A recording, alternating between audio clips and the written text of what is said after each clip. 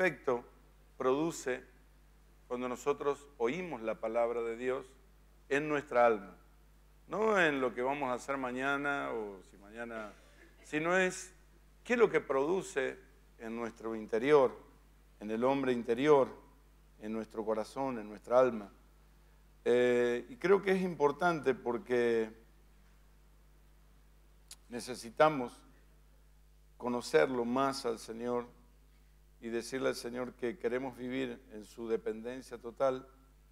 Entonces vamos a leer allí unos pasajes de la palabra de Dios y dice el verso 37, sé que sois descendientes de Abraham, pero procuráis matarme porque mi palabra, digamos todo, la palabra o mi palabra no haya cabida en vosotros. Yo hablo lo que he visto acerca del Padre y vosotros hacéis lo que habéis oído acerca de vuestro Padre. Y respondieron y le dijeron, nuestro Padre es Abraham. Y Jesús le dijo, si fueseis hijo de Abraham, las obras de Abraham haríais. Pero ahora procuráis matarme a mí, hombre que os he hablado la verdad, la cual he oído de Dios. ¿No hizo esto Abraham? Vosotros hacéis las obras de vuestro padre. Entonces dijeron, nosotros somos nacidos de, no somos nacidos de fornicación, un padre tenemos que es Dios. Se lo estaban diciendo a Jesús. Y Jesús le dijo, vuestro padre, si vuestro padre fuese Dios, ciertamente me amaríais, porque yo de Dios he salido y he venido, pues no he venido de mí mismo, sino que Él me envió. Porque no ¿Por qué no entendéis mi lenguaje? Porque no podéis escuchar mi palabra. Vosotros sois de vuestro padre el diablo y los deseos de vuestro padre queréis hacer. Él ha sido homicida desde el principio y no ha permanecido en la verdad, porque no hay verdad en él. Cuando habla mentira de suyo habla, porque es mentiroso y padre de mentira. Qué tremendo, ¿no? Eh, acá hay cosas claves. Primero que quería decirles que primero tenemos que saber que las palabras, una cosa es la palabra y otra es las palabras. Entonces muchas veces nosotros tenemos palabras, pero la palabra no nos tiene a nosotros, o la palabra no gobierna mi vida. Pablo escribiendo a los hermanos de, de Colosa le dijo que tenían que abundar en la palabra. La palabra de Cristo more en abundancia en vosotros. Diga, la palabra es Cristo. La palabra, o sea, Dios describe las cosas en su Hijo. Él es amor, Él es verdad, Él es justicia, Él es vida, Él es la palabra. Dios no tiene, vamos a decir, palabras, frases largas. Él tiene frase corta. ¿Cómo es, cómo es el amor? Es Cristo. ¿Cómo es la justicia? Cristo. ¿Cómo es? ¿Cómo es mi hijo? ¿Cómo es la verdad? ¿Cuál es el camino? ¿Cuál es la verdad? ¿Cuál es la vida? Lo resumía de esa manera.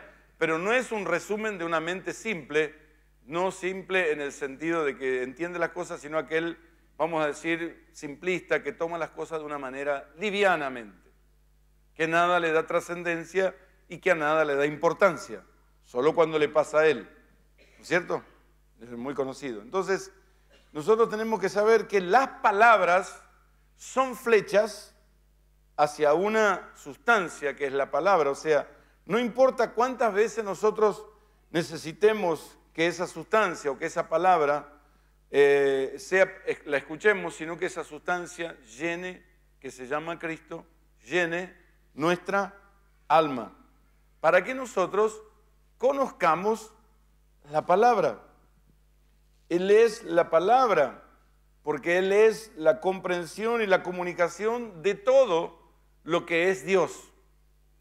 Por eso, cuando nosotros miramos en el, en el Antiguo Testamento o en el Antiguo Pacto, Dios le había dado diez leyes, ¿se acuerdan? Los diez mandamientos, que no eran gravosos, sino que los diez mandamientos hablan del carácter de Dios, pero no se podían cumplir por una ley, que terminaron siendo más de 613 leyes, de las cuales Jesús las cumplió a todas, porque Él es la palabra, Él es la sustancia de verdad, Él es el camino, Él es la verdad, Él es la vida. Entonces, nosotros podemos tener palabras, y es más, somos palabreros, tenemos muchos versículos, pero porque sepamos la Biblia de memoria, de tapa a tapa, no quiere decir que la palabra está gobernando mi vida o es una sustancia que lo ha llenado. Amén. Por eso Cristo es la definición viviente de todas las cosas. Dice en el libro de Hebreos, en el libro de Hebreos capítulo 1, no lo tengo anotado acá, pero lo vamos a buscar, Hebreos capítulo 1, si tiene tiempito y no está apuradito, se lo digo en chileno, entonces eh, dice que 1.3, Él siendo el resplandor de su gloria y la imagen misma de qué? De su sustancia y quien sustenta todas las cosas, diga sustenta todas las cosas con la palabra de su poder, habiendo efectuado la purificación de nuestros pecados por medio de sí mismo, se sentó a la diestra de la majestad en las alturas. Qué maravilloso este texto. O sea que dice la palabra, qué bueno que eh, a veces eh, una imagen habla más que 100 palabras. ¿Se entiende eso? Por eso él vino y lo, y lo perseguían porque ellos tenían las palabras del amor, las palabras de la justicia, de la rectitud, pero la palabra se transformó en una imagen y esa imagen era y es Jesús mismo. Y lo veían a él.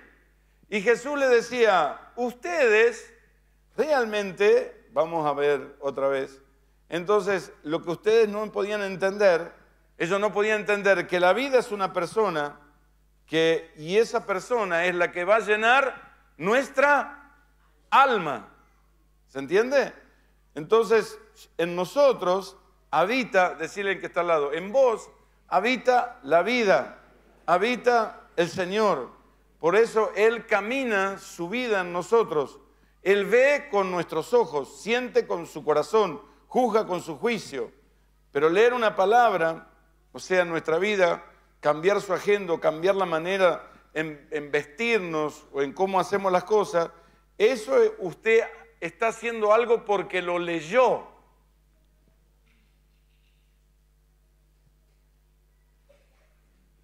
como si usted estuviese siguiendo un manual. Y eso nuestra vida se transforma en religión, no en vida. Por eso la religión no se puede relacionar. Nosotros no nos relacionamos por religión, nos relacionamos por la revelación de Cristo en nosotros. La religión te hace comer un pan, pero la revelación te hace ver que Cristo es el pan vivo al cual, que es la sustancia de una imagen, una realidad que habita en nosotros. Por eso la religión puede tener la Biblia, puede tener la Biblia como el libro de los exploradores, como, el libro para manejar el, celular o el coso, pero no es algo que, se gobierna mi vida. Yo vine transformado de, ¿cómo se llama? de La Rioja y mañana estaré transformado por la vida que nos habita. Y esto no es una cosa que sucede porque leí la Biblia. ¿Cuántos de ustedes leen la Biblia semanalmente? Y están igual. Estoy tan cabezón que no me alcanza una hoja. ¿Se da cuenta? ¿Se da cuenta? Entonces, no es un manual, es, es la vida. ¿Se, ¿Se da cuenta? No es por comerla, es la verdad, la sustancia que me habita. Las palabras marcan una dirección hacia una sustancia, esa palabra que es Cristo. Diga, la palabra es Cristo en mí y esa es la que debe habitar. ¿Sí o no? ¿O, usted cree que los discípulos no tenían la Biblia como la tienen en el celular, ni tenían la Biblia Strong, ni tenían la Biblia Pine, ni tenían el diccionario de griego, de hebreo? Pero tenían la palabra metida. Y cuando lo veían los apóstoles decían, estos son los que andan con Jesús. Y decía, estos son los que trastornan el mundo entero. Hoy alguno dice, estos son los trastornados. No, sino aquellos que trastornan con la verdad. Les dimos palo, lo sacaban a Pablo como muerto. Le decían que vos sos Júpiter, el otro decían que vos sos un, un planeta. Y Pablo volvía a predicar, lo sacaban muerto en las ciudades. ¿No es cierto? Pablo fue así preso. ¿Y, qué le dijo este? Se me olvidó, ¿cómo se llamaba? Por poco me persuades a ser cristiano. ¿Cómo se llamaba? Agripa. Le dijo, por poco. Y Pablo le dice, sea por poco, sea por mucho, excepto estas cadenas.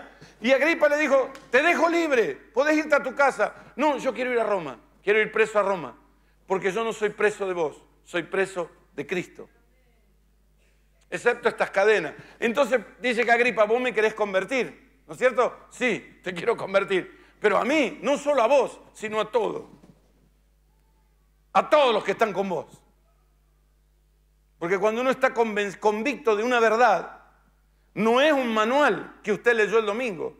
Es una verdad que se le metió adentro, es una sustancia que gobierna. Es una verdad que no la manejo yo. Entonces dice, excepto estas cadenas, dice Pablo, ojalá fuese como yo, y no solo yo, si, no solo vos, sino todos los que están acá, en este lugar, en este pretorio, en todos los que están acá. Quisiera que todos se conviertan y sean como soy yo.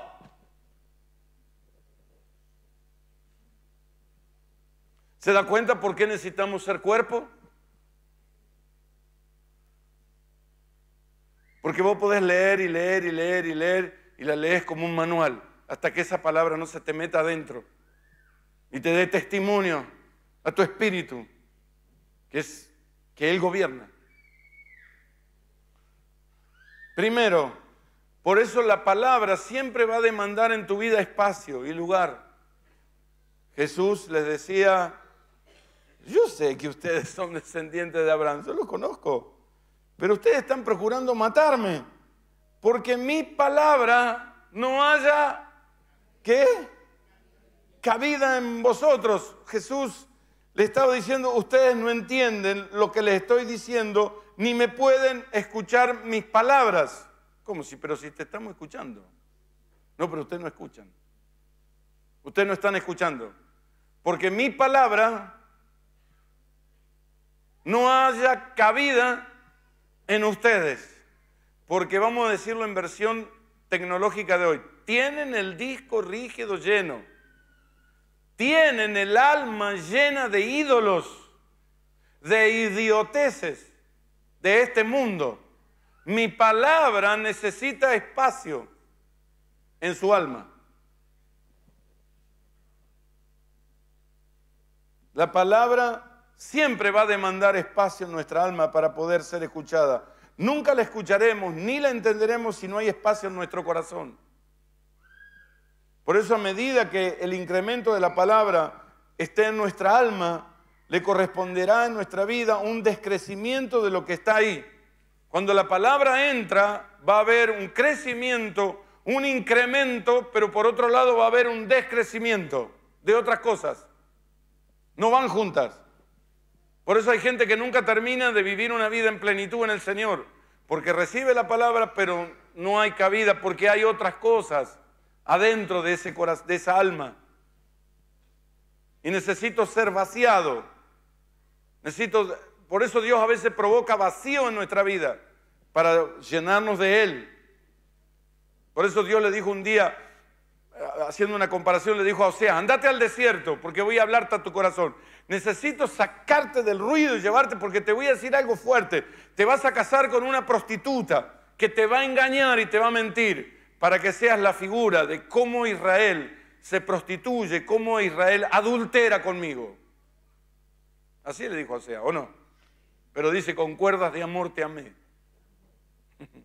hay que, hay que, algunos decir, yo quiero ser profeta. Y no aguanta ni cuando el nene dice, mamá, no te quiero. O cuando hay una dificultad. Y anda asustado por los pañuelos verdes. Nosotros nacimos para ser la expresión de Dios en medio de la oposición, no para andar escapando y huyendo, sino manifestando la vida de Él. Entonces, decirle que está al lado, la palabra va a ser espacio en tu alma para crecer, para gobernar. Porque la palabra no es recordar un texto. por eso nosotros sabemos que Dios va a escanear, el Espíritu Santo nunca te va a dar, siempre va a buscar lo que ya hay dentro tuyo, lo que Dios ya ha puesto. Por eso dice, yo les haré recordar. Usted no se puede recordar lo que nunca escuchó. Dios le hará recordar lo que Él ya puso dentro tuyo. Por eso no estamos mirando acá lo que va a hacer, estamos viendo lo que ya Él ha hecho y no nos hemos dado cuenta, porque la religión se basa en el futuro, la vida y la revelación es lo que Dios ha hecho, lo que Él ha hecho ya, lo que es una obra consumada, en la cual nosotros tenemos que ver por la fe y por el Espíritu, reconocerlo. Entonces, segundo, decirle que está al lado, la palabra nos va a dividir. Hebreos 4:12, porque la palabra de Dios es viva y eficaz y más cortante que toda espada de dos filos y penetra para hasta partir el alma y el espíritu, las coyunturas y los tuétanos y diciana los pensamientos y las intenciones del corazón. No es dividirnos entre nosotros, es, hay una gran división nosotros. O sea, lo primero que tenemos que entender es que la palabra es viva y que las palabras hablan de la palabra viva. Las palabras hablan de la palabra viva. ¿Quién es la palabra viva? La palabra viva va a entrar en nuestra alma, pero no va a compartir lo que hay allí. Y esto es un ejemplo importante. La, palabra no va a compartir ciertas cosas. Cuando Israel entró a la tierra de que fluía leche y miel, lo que le dijo el Señor, no te contamines, no te cases con los jebuseos, ni con los eteos, ni con los suegreseos, ni nada de eso. No practiques lo que ellos practican. No te mezcles. ¿Qué hizo Israel? Se mezcló. La tierra que fluye en miel es una, es una, es una sombra y una figura en nuestra vida de Cristo, pero también de nuestra alma. Y el Señor le dijo que la tenían que conquistar. Tenían que tomarla. Por eso cuando nosotros empezamos a ver la palabra viva, dice que la palabra es viva, es eficaz y empieza a traer, diga, división en nuestros corazones. Y Dios va a dividir. Empezamos a volver nuestro corazón a la palabra y su entendimiento y empieza a dividir en nuestro corazón lo que es Adán y lo que es Cristo, lo que es vieja creación y es nueva creación. Lo primero lo segundo, lo viejo y lo nuevo. Por eso cuando la palabra viene y entra en nosotros produce un cierto shock. Hay algo que en nuestra vida comienza porque nos empezamos a dar cuenta de que la palabra vino y va a sacar lo que no es Cristo, lo que no corresponde a este pacto, lo que no corresponde a esta vida que tenemos en el Señor. Amén. Y esa es la palabra que va a dividir. Pablo decía que nosotros teníamos que saber que, si que el alma, que Adán era un alma viviente, pero Cristo, el nuevo Adán, es un espíritu vivificante. Y él decía, nosotros no estamos más en Adán, somos parecidos a Adán, nos parecemos, pero espiritualmente no estamos en Adán, estamos en un alma, en un espíritu vivificante. ¿Entiende? Entonces, eso es lo que va a dividir. Eso es lo que va a sacar lo que no es Cristo de tu vida. Por eso la palabra muchas veces te va a dar testimonio. No solamente por leerla, sino por una sustancia que se está haciendo lugar y está derribando todo lo que no es Cristo en mi vida. Y me está trayendo la convicción. A mí no me lo dijo el pastor. Por eso, Juan, si usted tiene que entrelazar toda la Biblia, pero dice, cuando venga la unción sobre ustedes, nadie les va a decir las cosas. Pero no es que no le vamos a decir porque hay maestro, profeta. Pero dice que el Espíritu les dará testimonio. Y la unción que hay en ustedes les va a enseñar todas las cosas. La palabra, ¿quién es la unción? No es el toque del soplo, el fuego de alguien. Es Cristo en nosotros. El que nos va a dividir, el que va a empezar a sacar para hacerse espacio. La palabra es como un expansor porque va a crecer. ¿Sí o no? Va a crecer. es una semilla que va a crecer en nuestra vida, ¿se entiende? Entonces tenemos que entender de esta expansión. Mira, David es una figura, David fue un rey que conquistó todos sus enemigos. Y dice que cuando David destruyó a todos los enemigos, Israel tuvo paz. No, Israel no tuvo más enemigos. Todo alrededor, Israel estaba en paz, no como ahora. Y cuando David iba a morir, le dio todo el poder, o sea, le dio la continuidad. ¿Quién la siguió? Salomón. ¿Qué quiso hacer David? Dice que David había tanto dinero en el Banco Central, no de la República de Israel, sino el Banco Central de Israel, vamos a ponerlo así, que las calles estaban llenas de dinero. Porque David había llenado de oro todo, todo, todo, todo lo había conquistado David. Y es una figura de Cristo que nos ha traído paz en toda Israel. Y cuando le sucede Salomón, le dice, mira, hay paz por todos lados. Porque él que quería hacer David, quería construir el templo. ¿Y qué le dio? Le dijo, no lo vas a construir porque hay sangre en tus manos, pero lo va a construir tu hijo. Y cuando Jesús vino y predicaba el reino y les decía, el reino, ¿qué decían los israelitas? El reino, el reino, un rey, Salomón. ¿Y qué hablaban? Del templo de Salomón. El profeta Geo decía que iban a reconstruir el templo. ¿Se acuerda? Y, cuando Jesús paraba en la calle decía, he aquí, uno mayor que el templo de Salomón. En tres días lo va a destruir, pero en un día va, va a ser de nuevo. ¿Entendían? Porque ellos pensaban con una mente religiosa, en una mente de palabras.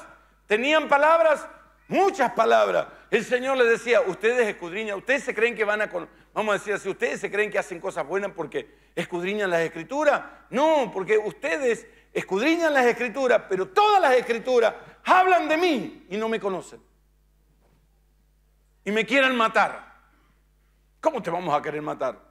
Somos hijos de Abraham. Y si fueras hijo de Abraham, las cosas de Abraham haría. ¿No es cierto? Porque el que es del Espíritu, el Espíritu, las cosas del Espíritu hace. Y el que es en la carne, de las cosas de la carne quiere hacer. Esto es muy simple. Pero decía, está delante de ustedes uno mayor que el templo de Salomón. Si usted lee el libro de Ageo, de Ageo dice, lloraban, se recordaban del templo y, ah, el templo. Como si nosotros lo más grande fuera esto. Yo cuando vine a una visita acá a la población, un pastor de otro lado, no lo traigo a ver el templo, ni lo llevo a ver el templo del norte, el auditorio del norte o el auditorio, ni lo llevo al predio. Porque eso no es lo más importante.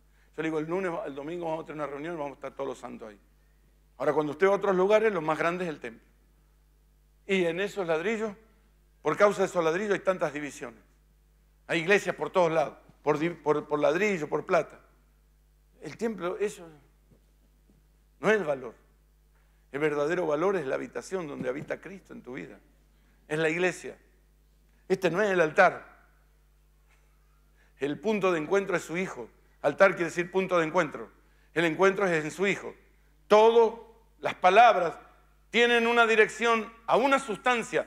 Por eso una imagen habla más que 100 palabras. Mi palabra no haya cabido en ustedes.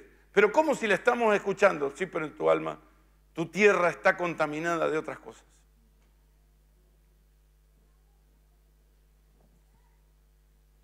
Por eso cuando David pecó, hizo el censo, estoy apelando que conoce la Biblia, hizo el censo, 72 mil personas murieron. Y el ángel se le aparece y le dice, ¿qué querés? ¿Misericordia? ¿Querés que te juzguen los hombres o querés que te juzgue Dios? ¿Y qué dijo David? Porque dio la, la espada. Y apareció uno que se llamaba Araúna y le dijo, yo tengo una heredad te la regalo, David, para que lo ofrezcas en sacrificio a Dios y se termine la mortandad. Y David le dijo, no la quiero. ¿Cuánto vale? Porque yo no le ofreceré a Dios nada que no me cueste nada. Porque cuando vio la espada, la espada al revés es una cruz. Y sabía lo que era la espada desenvainada. Dios no juega. Pero yo no le ofreceré a Dios algo que no me cueste nada. ¿Y de qué estaba hablando? Estaba hablando de una cruz, de un sacrificio. Y David eh, veía todas esas cosas. Por eso cuando Jesús se parece, dice, ¿qué, qué tremendo? Ustedes veneran tanto el templo, pero aquí delante de ustedes uno que es mayor que el templo de Salomón. Entonces, nosotros podemos tener palabras, como me dijo un chico a mí que pertenecía a la mafia, yo tengo a Dios, pero a mí Dios no me tiene. Usted sabe que todos los de las mafias italianas son muy religiosos. Y él me dijo, yo voy todos los domingos a misa, yo lo tengo a Dios en mi boca, pero Dios a mí no me tiene. Nosotros tenemos la palabra todo el día, las palabras, las palabras. Respondemos con palabras. Y cuando usted viene a la reunión y el, pastor dice un texto, yo ya lo sé a esto. Yo se lo escuché en YouTube, lo escuché a este, lo escuché al otro, lo escuché al otro, me escuché al otro, me sé todo. Y hay hermanos que se, saben todos los programas de YouTube de todos los pastores, pero su casa sigue siendo un caos.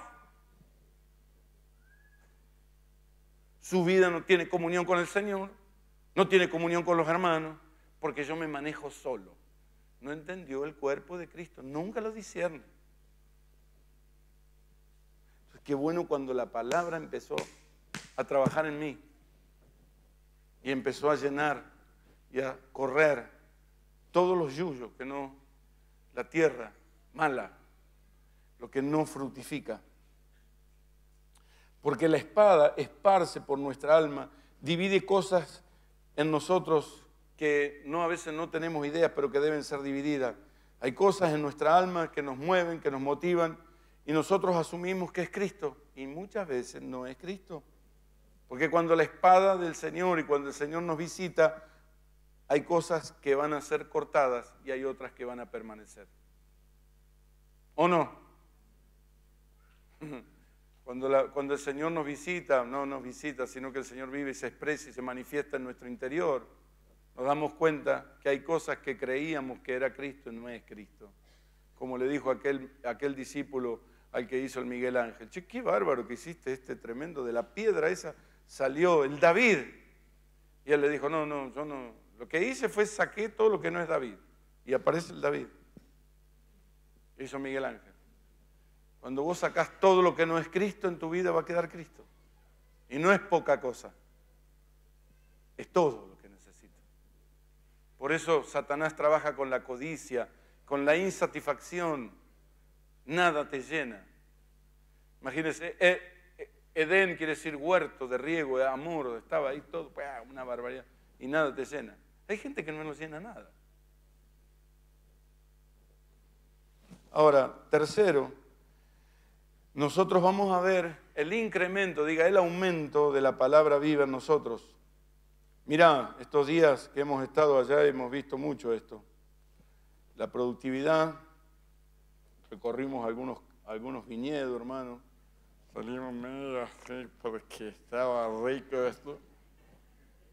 Y que tengo, bueno, pónganle un poquito más, ¿no? Entonces, este, y hoy lo, hoy lo probé, digo, ¿cómo no traje más? Entonces, este, pero encontramos en Mateo 13 la parábola del sembrador y encontramos allí la explicación que da el Señor, lo que era la palabra del, del sembrador.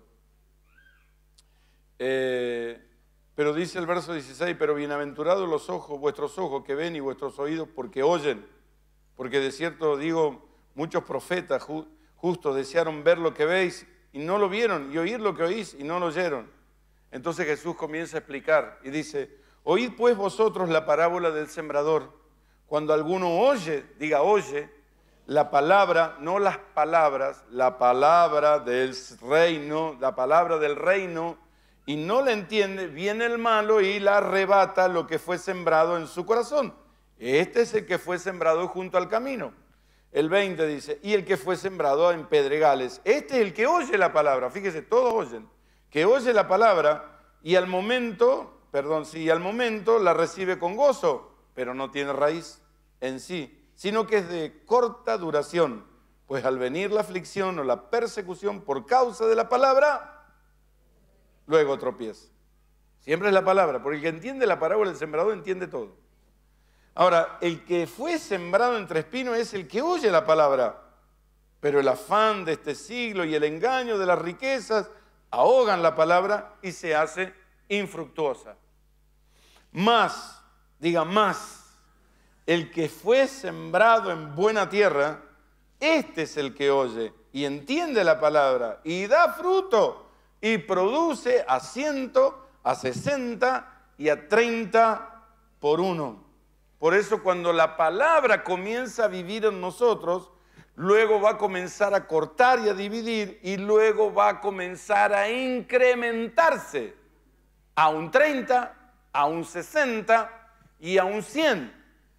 Francisca, o vamos a poner Lorenzo o Pedro, cuando tienen problemas de anginas, le han dado, voy a decir una burrada, que hay médicos, yo sé que no me puedo poner en eso, le pueden dar amoxidal o lo que sea, y el doctor o el pediatra le dice, dele una dosis.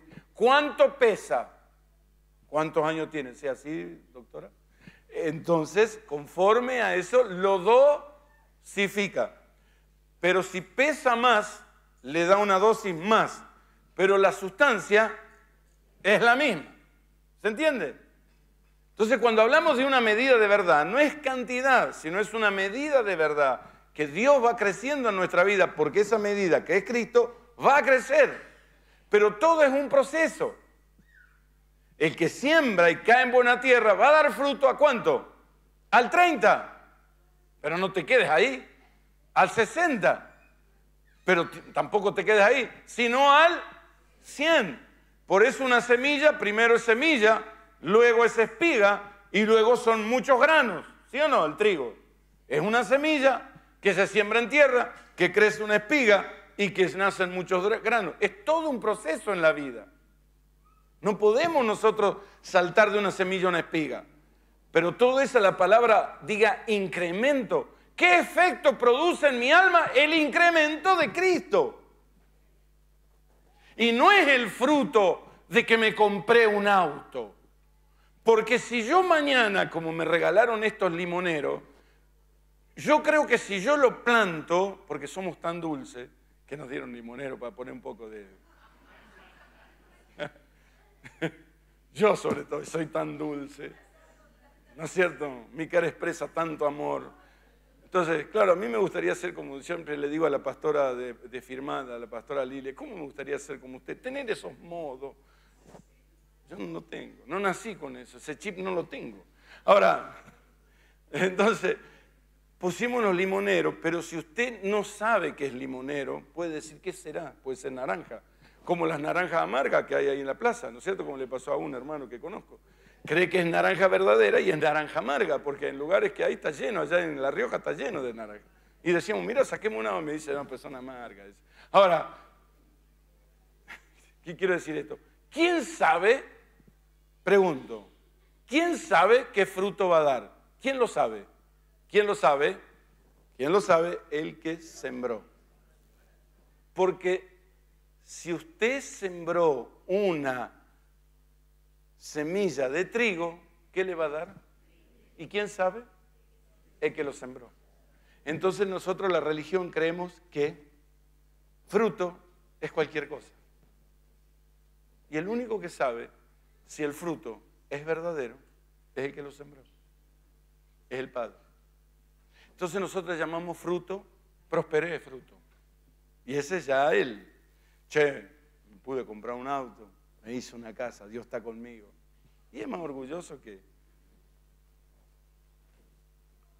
¿No es cierto? Como me dijo un hermano, es más, está más solo que Fernández para el 25 de mayo. Entonces, nuevo dicho.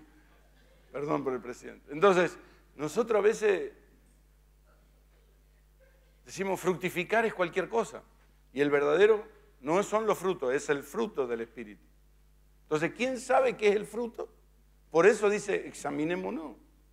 Porque a lo mejor le estamos llamando fruto, qué sé yo, a una casa nueva, a un auto nuevo, a qué sé yo, mucha comida en la casa. No digo que no está mal eso, ¿no? Que es parte de la prosperidad. Pero Juan dice, que debes prosperar así como prospera tu alma. Vos entiende, hermano.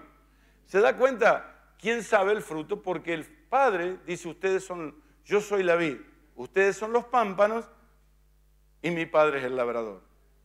Quien va a dar el incremento y el que busca el incremento es el Padre, el que sabe la semilla. Entonces nosotros decimos fruto a cualquier cosa. Y el verdadero fruto en nuestra vida es el incremento de esa palabra que es Cristo. De ese amor, de esa justicia, de esa vida y póngale más. ¿Se da cuenta? Y eso es lo que debemos. Y no se traume, porque ya hay algunos no entiendo. Entonces, ¿por qué no haya cabida? Pero si usted deja que las palabras señalan a esa sustancia que es Cristo, lo va a ayudar a que se va a dar cuenta que no. Y usted va, a recurrir a, lo que, a esta frase maravillosa que Pablo dice, en realidad yo he trabajado más que todo, pero en realidad yo no, sino que ha sido... Y usted cuando se mira dice, es la gracia de Dios en mí. Porque usted no se daría changüí ni para nada. Usted, si mañana usted va de, de intendente, ni usted se vota. Me vota al otro, pues yo, qué voy a hacer. ¿No es cierto? Yo tenía un hermanito acá del, sindicato del Partido Peronista del Norte y siempre venía acá y dice, Gaby, vos tendrías que venir al sindicato. Mira, como vos hablas, allá los convencé a todos. Ah, usted está loco, le digo, don Ramírez, ¿usted, cree que yo voy a hacer? Sí, vení, porque si tenés unos pavos allá. Vení vos, a hablar, sí, le, yo te pongo de intendente. No, le digo, rajada ahí. Claro, yo ni me voto. Pero usted sabe que en la vida Dios dio un voto por vos, envió a su Hijo Jesucristo, dio en la cruz, para que ahora vos digas, no soy yo, sino es su gracia que está creciendo en mí. Por eso la prerrogativa apostólica dice, creced en la gracia, hermano. Esforzate en la gracia. Esforzate a cambiar la cara de perro bulldog, en la gracia. Esforzate a tener relaciones, en la gracia. Esforzate a, a vivir una vida en Cristo, en la gracia. Hay algunos que viven la desgracia. Vamos a terminar. Entonces, ¿qué es lo que se va a incrementar en nuestra vida? Cristo, el poder de Dios, el propósito del sembrador, diga, el propósito del sembrador es el incremento de lo que sembró. Por eso el sembrador sembró y se fue a dormir. Y se despertó y ¿qué había? ¿Qué había crecido? Las el trigo y la cizaña. Cizaña, cizaña. ¿Y qué le dijo? No la corte, sino que espera para el día de la cosecha. Entonces, también corremos esos peligros, ¿o no? Nosotros fuimos allá a un viñedo, ¿no? Y, que estaba con el pancho que preguntó, ¿y, eso para qué? ¿Y aquello para? Y yo lo grabé todo, lo tengo todo grabado, ¿no es cierto? Y la chica dice, ¿por qué ponen rosas ahí? Rosa, rosa. ¿Por qué ponen rosa? Porque la rosa es detectora de todos los ¿cómo se llama? Eh, las plagas. Y si la rosa está con plaga, nos anuncia que hay una plaga que ataca al viñedo. Mira vos. ¿Viste? Entonces, eh, está todo eh, bien cuidado. Entonces, nosotros la palabra nos va a dar testimonio de que a veces hay cosas que vienen a nuestra vida que no, que no es Cristo, que no es compatible con la vida que tenemos y que necesitamos pasarla. Por eso en, el, Salmo dice, como el tamo que arrebata el viento. ¿Cómo hacían antes? Nosotros estos días hemos visto, está el lagar, oh, toda la Biblia. Entonces, ¿qué hacían ellos? Tiraban el trigo para arriba y el viento se llevaba el tamo, que es el polvo, y caía la semilla pura. Y aventaban. Usted los veía, los aventadores, que tiraban para arriba. El viento. No seamos como, seamos, el Señor va a soplar y va a sacar todo, decirle que está todo el tamo, el polvillo, para que quede la semilla pura de la palabra. ¿No no? Esta me venía porque Pancho vendía y dice, ¿qué querés avena con semilla? ¿La querés limpia? ¿La querés...? Pero el Señor se va, va a limpiar todo lo que no sea Cristo. Decirle para que haya un incremento de Cristo en nuestra vida. Nosotros fuimos a La Rioja e incrementamos, pero otra cosa. Pero bueno, entonces comimos tamales y otras cosas más. Pero usted tiene que saber que aunque las manos decirle que está al lado hagan cosas lindas, pero también las puede hacer el incremento de Cristo en el alma. Y a veces yo no puedo saber la diferencia, porque el religioso puede hacer cosas lindas. Pero el único que conoce la diferencia, ¿quién es?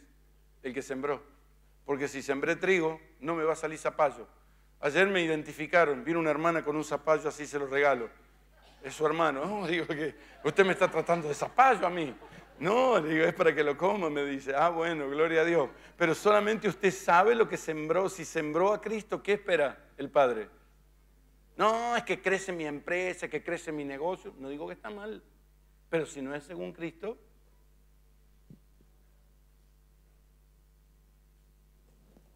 no habrá incremento de él. Entonces, es bueno un incremento, pero el sembrador diría, eso no es el incremento de lo que sembré. Por eso hay muchas cosas que pueden motivar tus manos y salir de mañana de acá. Por eso hay un, capítulo magistral del apóstol Pablo a los Corintios, hablando del amor. ¿Qué es el amor? El amor todo lo sufre, todo lo... No, no, no, no, no, no. ¿No es cierto? Si tienes de comer, de esto, lo otro. bueno, léalo en su casa, pero se da cuenta de que no es por acciones, porque la religión las puede copiar y las puede imitar. Solamente marca y sabe la diferencia es Cristo en nuestra vida. Por eso no tenemos temor a ser examinados, a estar delante del Señor, a estar delante de su, de su trono, exaltarle, glorificarle y darle gloria, porque no busco el incremento de mis acciones, no busco el incremento de mi fuerza, sino busco el incremento en mi vida de Cristo que sea. Y por último, para terminar, porque lo que iba a ser corto se alargó, entonces, Santiago 1.21, si alguno, si, lo pueden poner ahí, eh, se fueron todos, no quedó ni uno ya. Ah, sí está, Lautaro. Por lo cual, desechando, diga toda inmundicia y abundancia de malicia. Diga, recibid con mansedumbre la palabra implantada, la cual no estamos hablando de la salvación de la vida eterna, la salvación del alma. ¿Qué dice? desechando toda inmundicia. O sea, la palabra va a transformar el alma en un hacedor de qué? De la palabra. Vaya Santiago. Mire, Santiago capítulo 1, ya termino, 1 y el versículo 21. Entonces, ¿qué vamos a ver acá? Vamos a ver que Dios habla de hacer, que va a ser hacedores de quién? De la palabra. ¿Podés poner el versículo que sigue? y no quiero tomar mucho tiempo, pero fíjese, eh, dice, ¿no ves que la, fe actuó juntamente con sus obras y que la fe se perfeccionó por las obras? Y se cumplió la escritura que dice, creyó a Dios y le fue contada por justicia, fue llamado amigo de Dios. Pero nosotros entendemos por la palabra de Dios, pero fíjese qué bueno que dice, por lo cual desechando toda inmundicia. ¿Dónde está todo eso? ¿Qué más? Malicia, ¿Qué más? Todo lo que no es Cristo, recibí con humildad la palabra que fue implantada porque es poderosa. Por eso lo que nosotros debemos notar, que lo que primero que hablamos de lo nuevo es esta verdad. No dice que nosotros la recibamos con el oído, no dice que la recibamos con la palabra hablada, no dice que la leamos con nuestros ojos, la palabra escrita. Dice que recibamos con humildad la palabra implantada, la cual puede salvar tu alma. Por eso cuando hablamos de salvar el alma solo pensamos en el nuevo nacimiento, pero todavía hay muchas cosas que conquistar en la tierra. ¿Se acuerdan que dijo el Señor que iba a destruir todos los incircuncisos cuando entraba a la tierra? ¿Qué se tuvieron que hacer? Circuncidar de nueva. ¿Y qué hicieron los religiosos con todo eso? Que se levanta Pablo y dice, no es la circuncisión ni la incircuncisión, sino la circuncisión de vuestro corazón. ¿Qué se hacía en la circuncisión? Se corta la carne en el miembro del hombre. ¿No es cierto? Se saca la carne. Y andaban todos los hombres así. Se circuncidaron otra vez. ¿Y, qué está hablando? Y dice Pablo, no es la circuncisión de carne, porque esa cualquiera lo puede hacer. La que Dios busca es una circuncisión del corazón. La que va a sacar de la carne que hay adentro nuestro. Lo que no es Cristo. Porque no tiene valor ni la circuncisión ni la incircuncisión, sino una nueva creación que opera en nuestra vida. Entonces, cada vez que la palabra viene, va Dice que es la espada de doble filo, más cortante que toda espada de doble filo. Y penetra hasta partir el alma. Los tuétanos, las coyunturas, discierne los pensamientos. ¿Qué va a hacer la palabra? Va a darnos vida. ¿Y qué va a hacer que la palabra se transforme en usted en un hacedor de esa palabra? Entonces, la palabra es viva, diga, la palabra es viva, ayúdeme si me olvido. La palabra es viva. Segundo, ¿qué es la palabra? Debe hallar lugar. Tercero, la palabra es incrementada. Y cuarto, la palabra, somos hacedores de esa palabra. Esa es la verdadera palabra. Entonces, ¿qué vamos a ver? Una expresión de esa palabra. ¿Cuál es la expresión de la naranja? La naranja. Póngase de pie. La Paqui ya quiere ofrendar. Bueno, vamos a estar de pie. Pero vamos a terminar así. ¿Podemos? Darle gracias al Señor. Entonces que en estos días, hermanos, podamos decirle, Señor, para que atienda, podamos decir, Señor, ayúdanos. Cuando Israel entró a la tierra, le dijo, no te contamines, no te juntes con este, con aquel.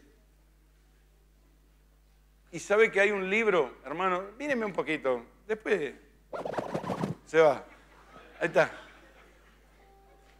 Fíjese, me hizo distraer. Ahora, qué importante es que nosotros podamos entender esa verdad. Hay un libro en la Biblia que se llama el libro de los jueces. Y ese libro tiene una frase que se repite. Cada uno hacía lo que bien le parecía. No me digas si no es igual hoy. Y Dios tenía que levantar jueces porque se descarriaba. ¿A ver algún juez que se acuerde? De la corte de acá no. Juez. Jefté. ¿Quién más? Débora y Barak. ¿Quién más? Gedeón. ¿Quién más? Bueno, Sansón. Y así, y así, y así se levantaron jueces. Pero dice que cada uno hacía lo que bien le parecía. ¿Le parece bien? Eh, sí, viste hermano, está bien. Si te querés separar y volver a casarte. Si te percibís hombre, si querés matar, mata. Si querés robar, total, después te arrepentís. Y con un, como decíamos antes, sin burlarme, con una Ave María, me paso para el otro lado. Total, hay evangélicos que dicen amén, gloria a Dios, gloria ah, perdóname, perdóname. Y al otro día vuelvo a hacer lo mismo. Me peleo con mi mujer, la insulto, perdóname. Y, todo el tiempo. Y creemos que así jugar. Juguemos en el bosque mientras el lobo no está. Lobo está. Pero cuando realmente tenemos un sentir de una palabra, nos damos cuenta. Porque fíjese que dice que si pecamos, abogado tenemos para con el Padre a Jesucristo. O sea, si pecamos, es como que usted no tiene dos gatos, cinco cubiertas de auxilio. Tiene una, por si se le pincha una goma. ¿O no? No tiene varias gomas de auxilio. Si va de acá a Buenos Aires, no sé, me voy a llevar cuatro gomas de auxilio, porque va a pinchar cuatro veces. Bueno, a mí me pasaba eso porque la goma mía se le veía hasta el aire, pero otra cosa. Es la pobreza. Ahora, nosotros los total me arrepiento, así total. Insulto al hermano, lo maldigo, total me arrepiento. Peco y me arrepiento. No es así. Es realmente que nuestra alma necesita ser llevada a esa verdad, a esa conciencia, decirle, Señor, gracias.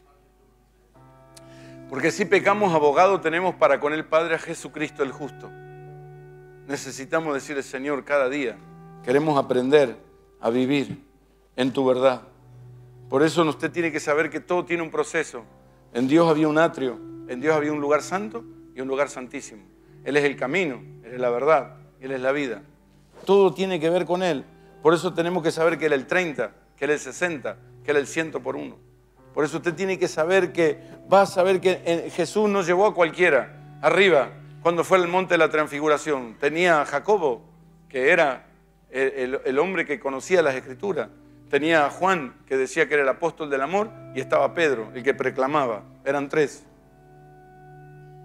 Y apareció uno Elías, y de pronto apareció Moisés.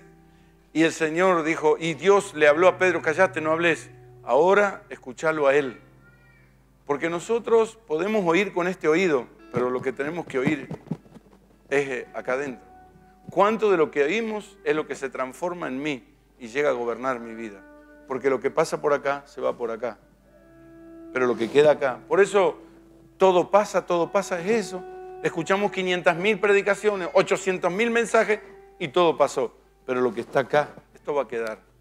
Y va a hacer espacio. Y va a ser como aquello que va a quebrar las plagas donde la tierra fue sembrada la semilla. ¿Sabe que el Señor le dijo, ustedes serán como una semilla que se va a sembrar en esa tierra hasta llenarlo todo? Y Jesús dijo, si el grano de trigo no cae en tierra y muere, no puede dar fruto. ¿De quién estaba hablando de él?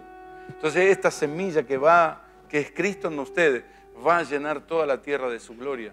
Más allá de la oposición que haya, más allá de todas las cosas que haya, el Señor se va a manifestar a través de tu vida. Como dije hoy, cuando el olor fragante de la vida se expresa a través de la iglesia, muchos van a recordar y van a oír, van a sentir el amor de Dios, el amor del Padre y la vida del Señor. Levanta tus manos en esta noche.